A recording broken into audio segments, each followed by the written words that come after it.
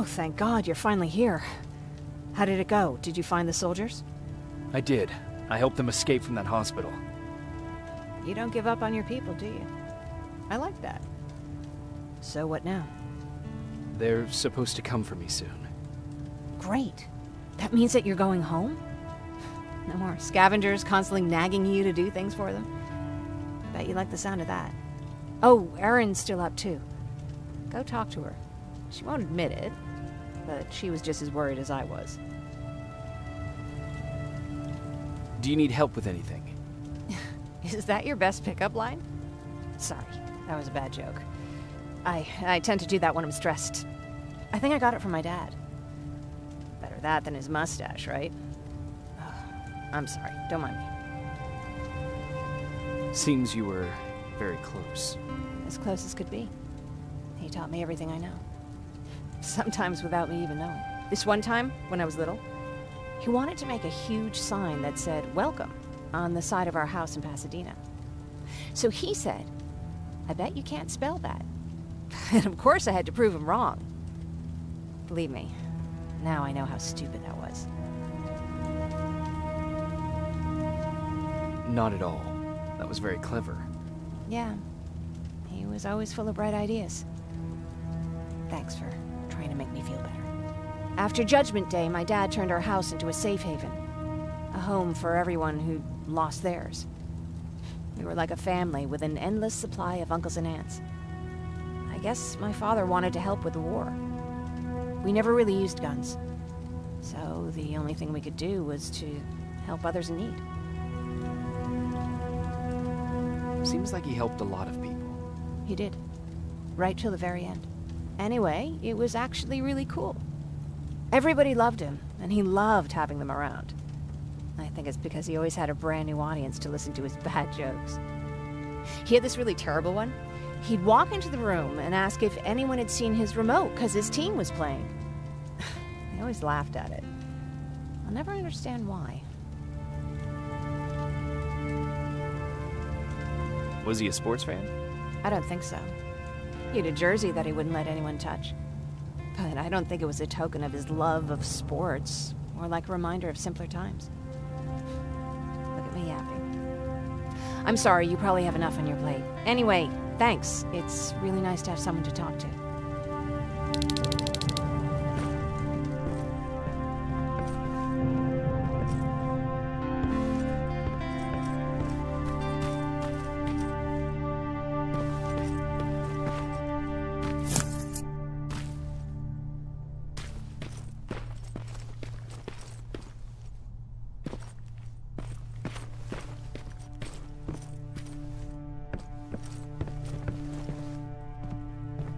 No need to worry.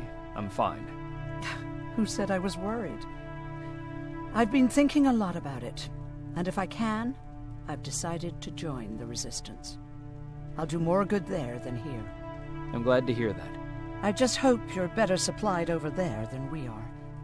Speaking of which, I see you've got those antibiotics I asked for. Good. Now I can call Ryan off. I asked him if he brought a shovel with him.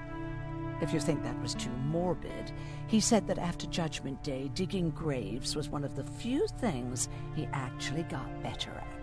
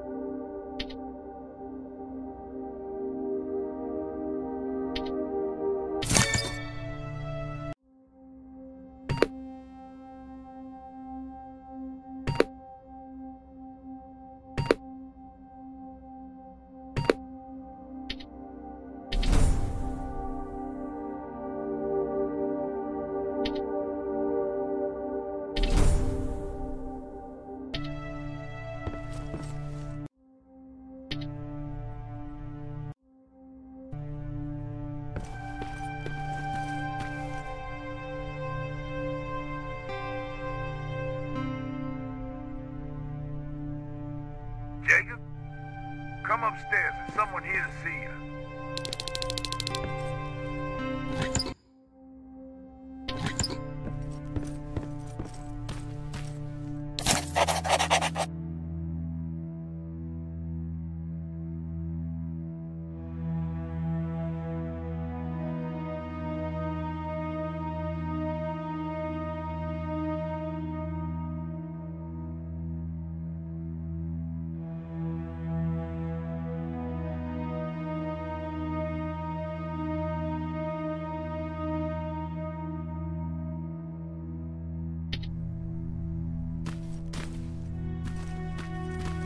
Good luck out there.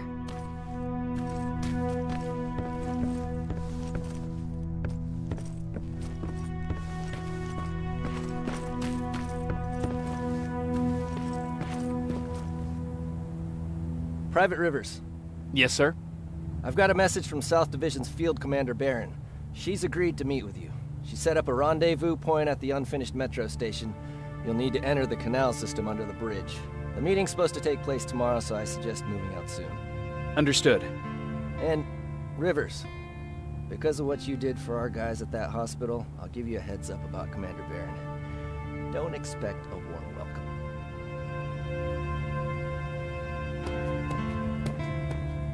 Looks like you're leaving us soon. Erin wants to join me. What about you?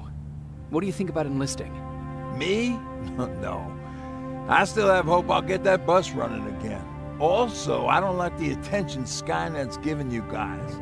I'd rather stay as far from the line of fire as possible. Patrick, get back here! You better go see what's going on.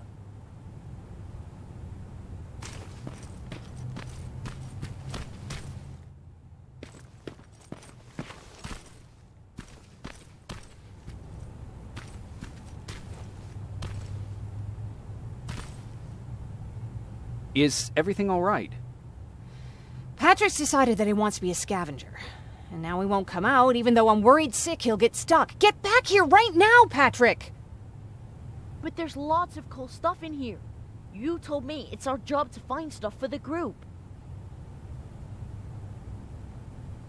Your sister is right. Get back here. It's too dangerous. Ah, oh, alright, alright. Coming out.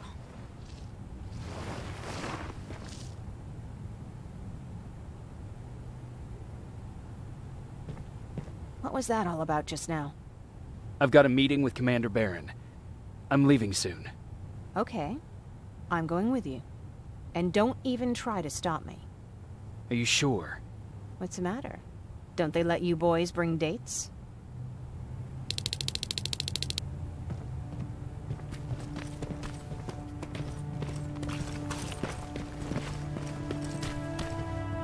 Don't worry, kid. She's just worried about you. But she never lets me do anything. That's what older siblings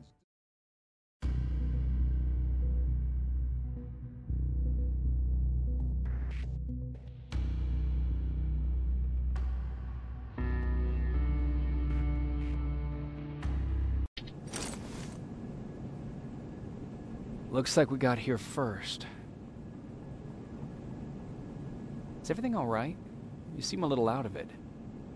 Sorry. I probably shouldn't zone out like that with a gun in my hands, huh? Am I making you nervous? No, not really. Well, you should be. I don't have any formal training like you. I never even held a gun until recently. Can I be honest with you? Sure. There's a reason I decided to come here with you. I want to meet Commander Baron myself. They're here. When I heard that Private Rivers of the non existent Pacific Division wants, no, needs to have a meeting with me, I thought, oh, what a lucky girl I am. But then I started thinking, who is Private Rivers? And why should I treat him as anything other than the deserter he is? So right now I'm hoping you give me a good reason why I shouldn't just skip the court martial and execute you where you stand. This is bullshit.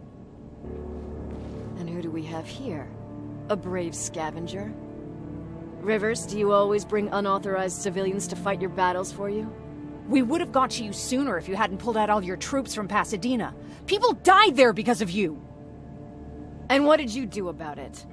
Did you pick up a gun and fight back? Or did you run like you sewer rats always do? Jennifer's right. There's no need for any of that. Yeah. Today is all about private rivers. So what can you tell me that I don't know already? A few weeks ago, the outpost I was stationed at was ambushed by a Terminator, I think. It was half man, half machine. The entire Pacific Division was wiped out by a single enemy. Half man, half machine? What are you talking about? How did your men let an enemy get that close to you? We didn't know it was a machine. It could walk, talk, bleed, sweat. There was no way to distinguish it as an enemy. It infiltrated us perfectly. This infiltrator, is it still alive? I- I'm not sure. Okay, for now keep everything to yourself. I don't want any rumors, especially since you only think you saw something. Skynet's coming! We're not done here yet, Rivers. Take this plasma. You're a resistance soldier. Time to act like one. To your positions! Drones! Up there! Fire at will!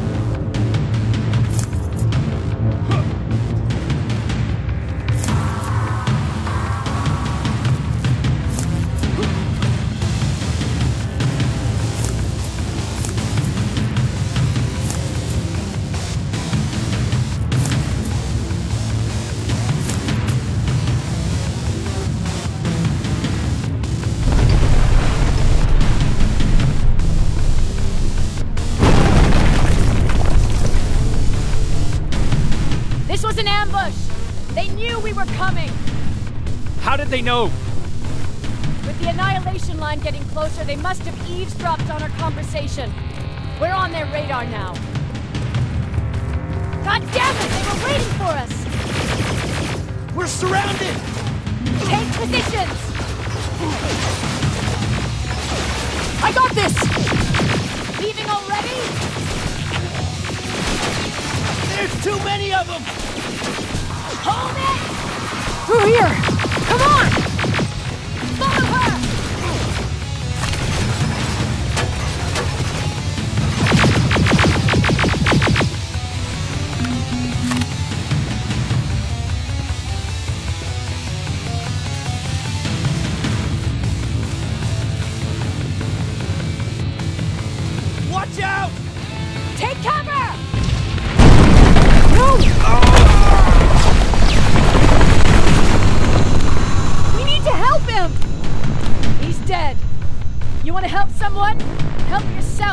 His rifle.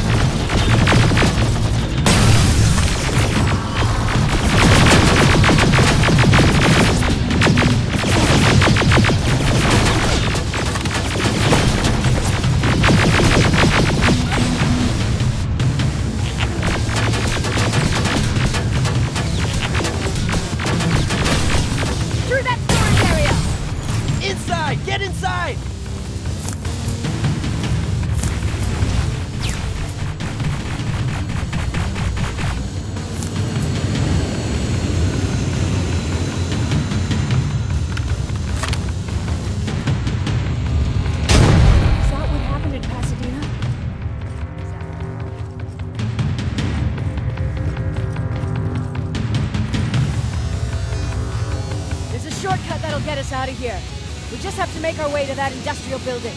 As soon as that aerial moves, we run.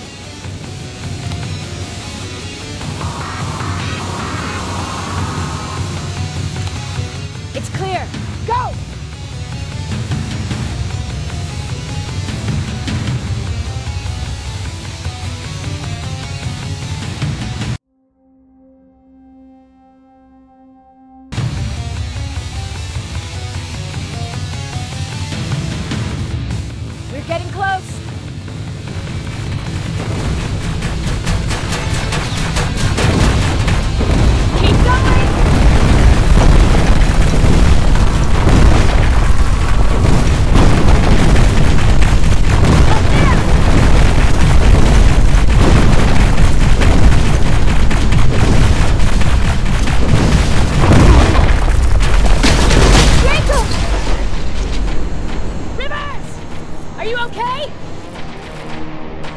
Shoot that thing! Jacob, get up!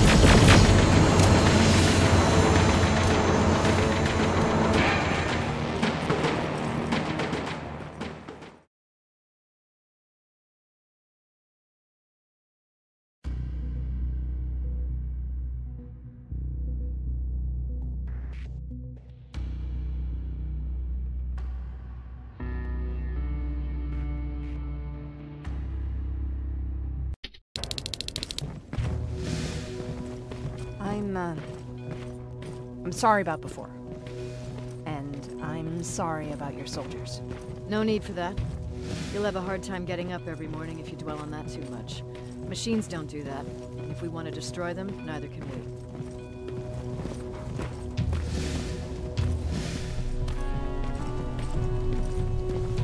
Rivers. Since Pacific Division no longer exists, you will now answer to me. That makes you a part of TechCom. Congratulations. No more sitting around waiting for Skynet to come to you. Over here, we go out there and meet the enemy face on.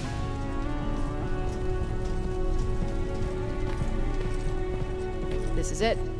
Resistance Shelter, South Division. Baron, DN 38217.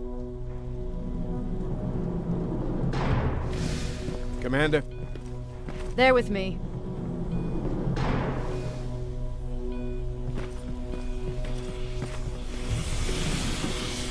Where are the others? Where's my husband? They're dead. Over here's our quartermaster. If you need anything beyond the standard issue equipment, work it out with him. And here's Alvin, residing chief Egghead. Uh, I prefer laboratory director. Like I said, Egghead. He supplies all TechCom units with weapon modifications. Everything looks well organized. It is. Everyone pulls their weight here. If someone doesn't, we become weak. And you can probably imagine where I stand on being weak. I'll get right to it. There's a reason I decided to meet you. We intercepted some interesting data. It turns out you're part of a prestigious group. A group of people that Skynet marked for termination. See, John Connor, the leader of the Resistance, is number one on that list. Then there's me. I know, I'm flattered. Every day, we lead, we fight, and we plan on how to destroy Skynet's central core. So I know exactly why we're on that fucking list. But why would Private Rivers be number three? That infiltrator said something about me being marked for termination. Hmm. Interesting. I'll have to have a word with Connor about that. And that brings me to my second point, your first assignment. After the Annihilation Line got to Pasadena, Skynet started building installations there. I want you to go there and collect some intel, so we know what we're up against. Sounds dangerous. It will be. Check with Alvin before you go, he'll have something for you. Remember, you might be valuable to Skynet, but the way I see it, you're still a private. Dismissed. And Rivers. Civilians don't need to know about what happened out there.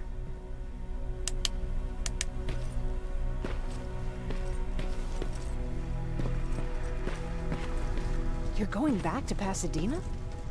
Can't imagine what it's like there now.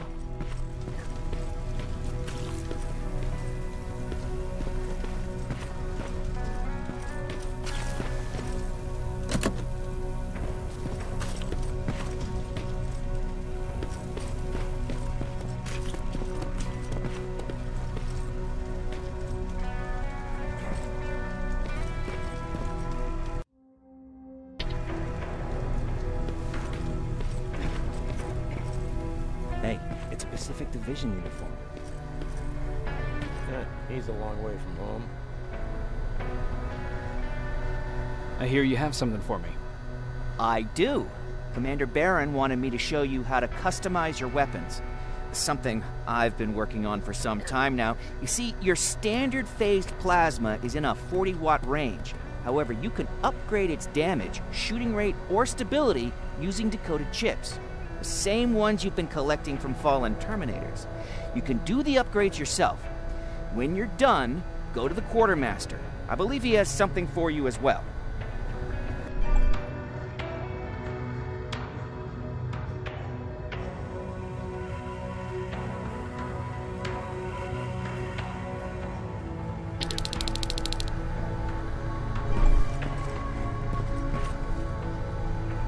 Just try it. Don't have all day.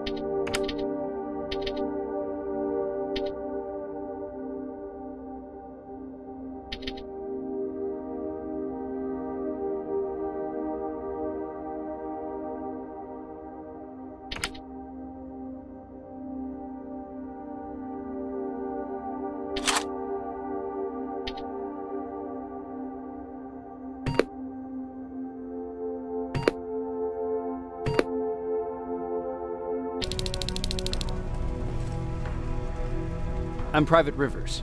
You got something for me? I've been told you're using old goggles from the Pacific Division. Those aren't even standard issue anymore. Commander Barron asked me to hook you up with the latest version. These babies come equipped with a high-quality camera. What do I do with them? The idea is that when you reach Pasadena, you'll take pictures of Skynet's offensive installations. When you find them, put the goggles on, then aim and shoot. Pictures will be automatically sent to a military satellite that we hijacked from Skynet. They'll give us the necessary intel to prepare for when the annihilation line comes. That's it? That's it. We have a place ready for you here when you come back. Before you leave, take a look and see if there's anything else you need. I can get my hands on almost anything, but I don't normally hand out freebies.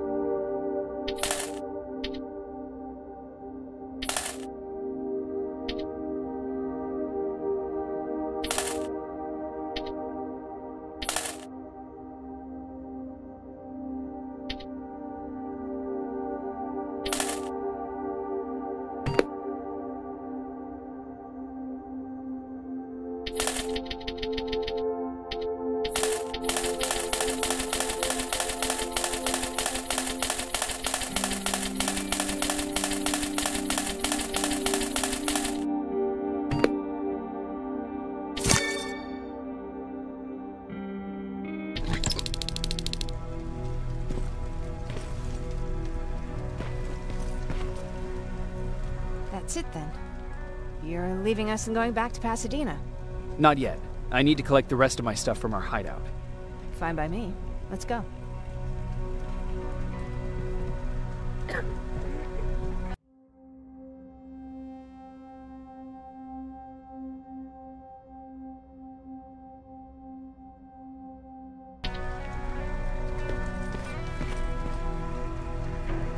Do you need anything?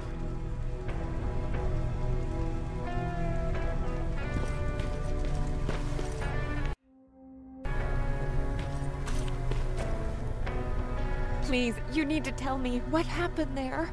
Where's my husband? I'm sorry, I I can't talk about that. Please. Jesus, Jacob! We were ambushed near the unfinished metro station, and he didn't stand a chance. I'm so sorry for your loss. Oh my god. Thank you for telling me this. Thank you for caring. I don't care what Baron says. This woman deserves to hear the truth. Not knowing would destroy her. Aaron would kill to know what happened to her husband.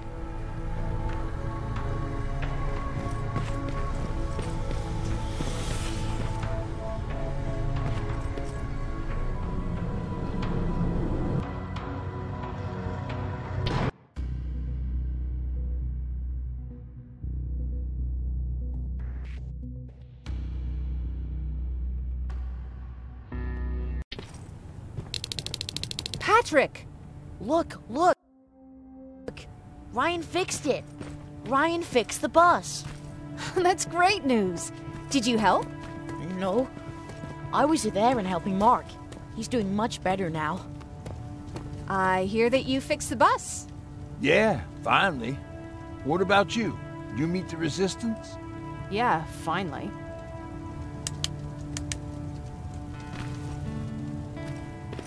I'll talk to Erin.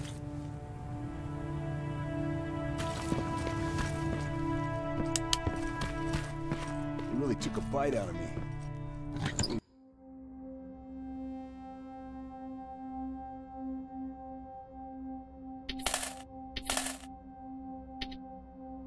Remember getting this cut.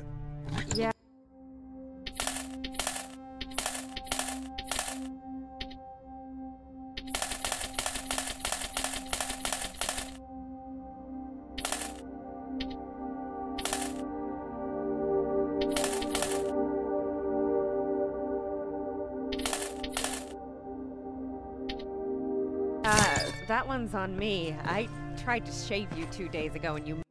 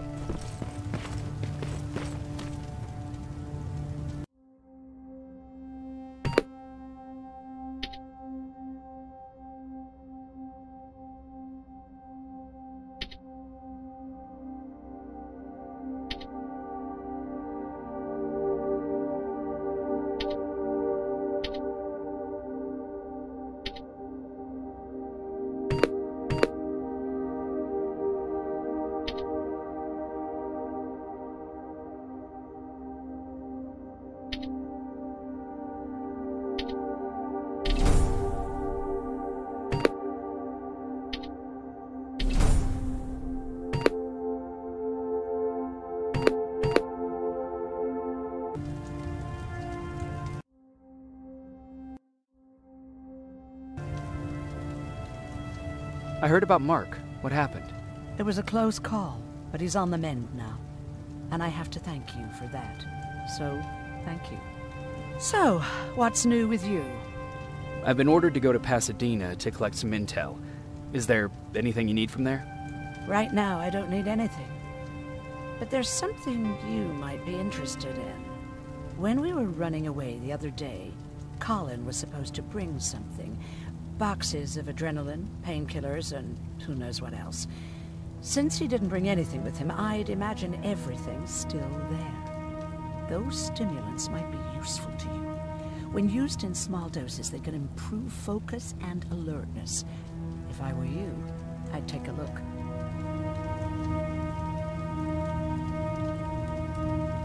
You didn't change your mind about joining the Resistance?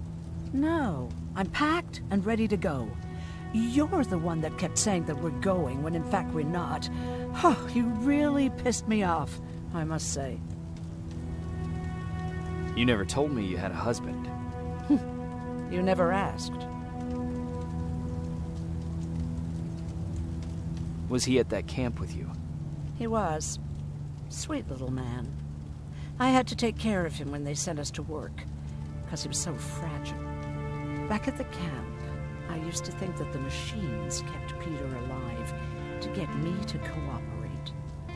So when there was an opportunity to run, we had to take it. And we did. We ran with this little child that I had started to love. I felt that she was mine. What was her name? Her name was Taylor. Peter said it sounded too manly, so I said, Good, we'll finally have a man in the family. But as you know nowadays, no story has a happy ending. She died shortly after. We buried her, and we stopped talking to each other. Eventually, the Annihilation Line caught up with us. We got separated. I ran away. He did too. At least, I hope he did. That's all.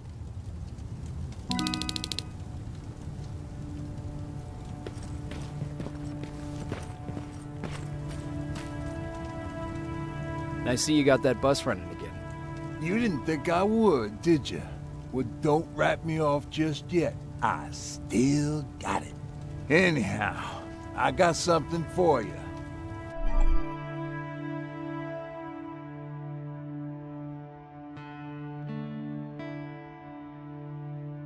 It's called a termination knife. It's supposed to shut down a Terminator with a single stab, so if you sneak in and you want to take them down silently, well, that's your go-to weapon. I guess you could say it terminates Terminators. Wow, that was almost as bad as Jan. Where did you get that? A group of travelers came by earlier. We traded, talked for a while. Actually, they said something that got my attention. Something about meeting a guy out there kept asking about Jacob Rivers. He said he didn't seem right. You don't think it's that thing that you told us about before, do you? Sorry. I probably should have said something right away. Have you changed your mind about joining the Resistance? No. No, I have not. I think I'm better off anywhere that bus takes me. I'm moving out tomorrow. Anyone who wants to join is more than welcome to, but I don't suppose you're interested. What's on your mind? Well, you really got me thinking about old Tucker again. In times like these, I wouldn't mind having him around. He always know what to do. He was the only one who didn't lose his mind after Judgment Day. What did he do? He finally found me hiding below the stage. Such a nervous wreck. So to try to calm me down, he just said, that band sucked anyway. Tucker said, we need to be calm right now. I listened to him. We all did, survivors from the concert. Did you contact the military? Well, we uh, eventually found a military base. We assumed that we were safe. But all we found was one crazy dude responsible for nuclear missiles. His whole job was to watch a button that he might never have to press. Imagine what he felt when Skynet sent those nukes without his knowledge. I wonder if he ever pushed that button after Judgment Day. Might as well, right? Finally, we found a couple houses, but the people there were as confused as we were. All the communication went to shit. Tucker managed to find some batteries, and uh, we sat in front of our boombox. He started to list cities to avoid. Cities that were hit by the nuclear bombs. How many cities were hit? Ah, I don't know exactly how many, but it took them a couple of minutes just to go through the A's. We looked at each other crying. We just wanted to go home and be with family, but Tucker said that for now, the safest place there is is right where we were. So we decided to stay and start a camp.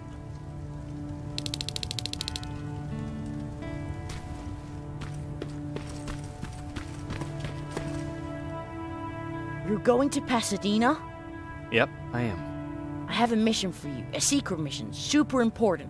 Probably the most important of them all. What is it? Could you bring me my chalk? Chalk? Yeah. It's at my house. The one with the beware sign on the side. Could you bring it to me?